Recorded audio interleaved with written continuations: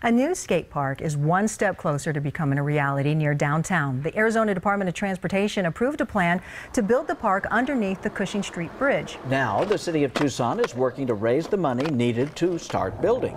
Nine on your side's Jennifer Dela Cruz shows us where local skaters could call their new home.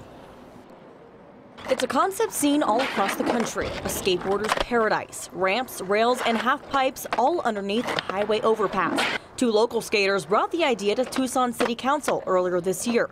The park would be built underneath the Cushing Street Bridge in Ward 1. Councilmember Regina Romero says the city is right on board. It does take the city of Tucson to like take the idea and run with it, and I think that's what we're doing. The city manager really likes the concept, uh, the Department of Transportation within the city, and most importantly, the Arizona Department of Transportation uh, has signed off on the concept. The skate park would be the first under the bridge park in the state of Arizona.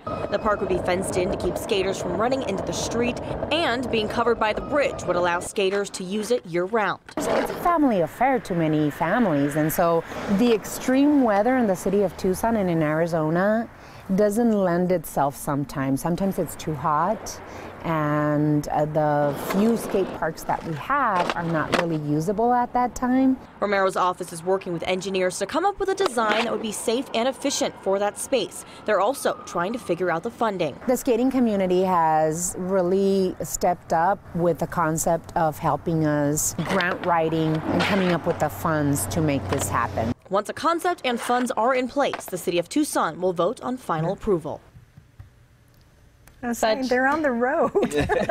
Such a cool concept. They still do have a lot of money to raise. If you'd like to make a donation, there's a link on our website at kgun9.com.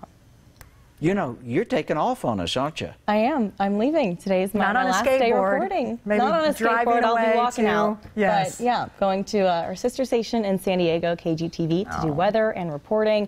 But this was my first station, so I'll never forget where I came from. So mm -hmm. thank you to all my amazing coworkers and the community for being so supportive and being part of my journey. So okay. many people uh, vacation there from Tucson. You're going to be getting calls all the oh, time. Oh, please come visit anytime. We'll be visiting. yes, we will be visiting. Absolutely. So, two weeks. Anytime. Month, maybe. yeah. Come whenever. I'm ready for you. Thank you.